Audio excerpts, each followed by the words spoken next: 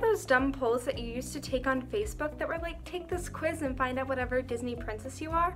Well, maybe not, because Facebook got taken over by older people like Miss Pankowski. Well, the Environmental Club has an even dumber question to ask. If you were a tree, what type of tree would you be? So we went out and asked WB's finest science students this very question. I'm Dylan, and I'm a spruce tree. Know why? Because a lot of Christmas trees are spruce trees, and Christmas is awesome. I'm Hannah, and I'm a white birch tree. Most trees just have dumb gray or brown bark, but not the white birch. They're unique, colorful, and can make a sweet house in Minecraft. I'm Brady. If I was a tree, I would definitely be a white oak tree. White oaks are tall, powerful, and dominant in their environment.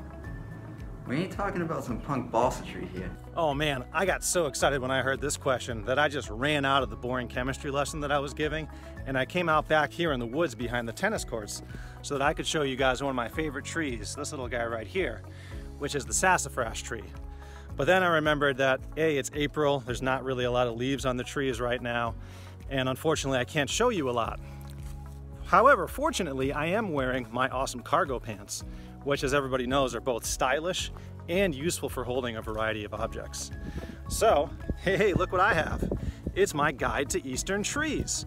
So with this, I can at least show you guys a picture of the sassafras tree. Let's see, right there. So see that leaf shape right there? Well, what you're actually looking at is three leaf shapes.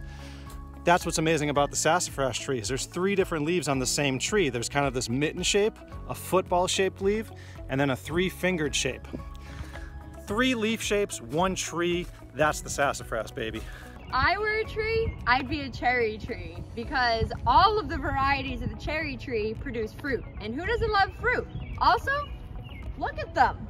I'm Billy and I'd be a hickory tree. They're strong and beautiful colored in the fall and are beneficial to their surroundings. Also, ever had hickory smoked bacon?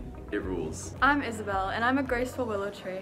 Like Bruce Lee said, the stiffest trees crack, but the willows survive by bending with the wind. Yield and overcome. That's some deep stuff.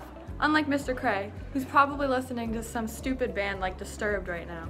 Now, there is one more person that we were going to ask this question to, but on second thought, we didn't really need to because the answer is pretty much obvious. One might even say that asking this question to this person would have been rhetorical. And that person is, of course, Mr. Rosso. Now, what tree would Mr. Rosso be? I think the answer is pretty obvious. He'd be a bonsai tree. You guys know the bonsai tree, right? It's those cute little trees that people keep in pots and you know, they don't usually get above a foot tall, maybe a little more than that, but not much. Yeah, I mean, Mr. Rosso is basically the personification of a bonsai tree.